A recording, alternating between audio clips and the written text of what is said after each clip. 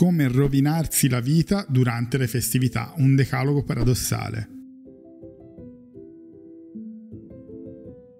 Numero 1. Isolati completamente. Mentre tutti si riuniscono, scegli deliberatamente di isolarti. Chiudi le porte e spegni il telefono, ignora gli inviti e passa le festività completamente solo, dedicandoti a rimuginare sulle cose che non vanno nella tua vita. Dopotutto, l'isolamento è il miglior modo per coltivare una buona dose di malinconia festiva. Numero 2. Crea delle aspettative irrealistiche. Sognare è gratis, quindi immagina delle festività perfette come nei film, dove tutto è impeccabile e luccicante. Aspettati regali costosi, cibo gourmet e familiari sempre felici e estremamente comprensivi.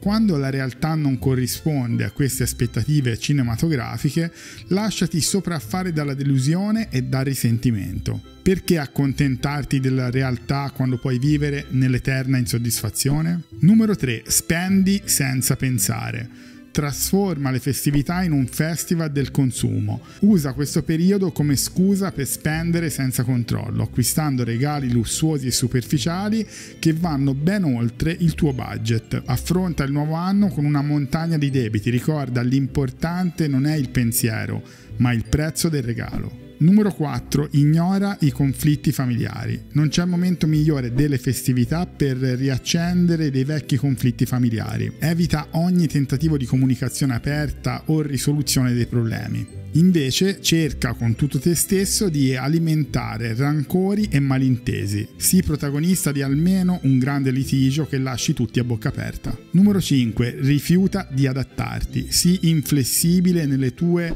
tradizioni e aspettative. Se qualcosa cambia o qualcuno propone un nuovo modo di celebrare, opponi resistenza e lamentati per tutto il tempo. Mantieni una mente chiusa. L'adattabilità è per i deboli. Numero 6. Abbuffati senza godere.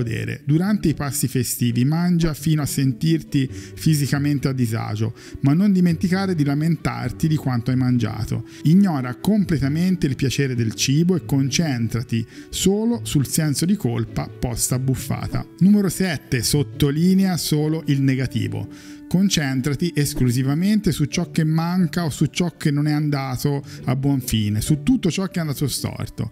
Ignora i momenti di gioia e le piccole vittorie. Sii il portavoce del pessimismo, una nuvola nera personale che oscura la luce della festa. Numero 8. Rifiuta ogni offerta di compagnia.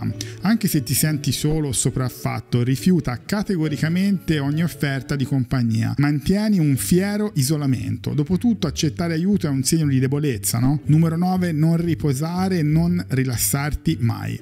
Chi ha bisogno di riposo ignora il tuo bisogno di sonno e di relax, invece riempi ogni momento con attività stressanti e con tantissimi impegni.